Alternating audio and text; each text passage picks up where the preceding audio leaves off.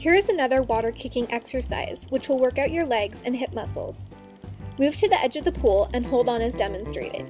Keep your knees straight and move your legs in and out.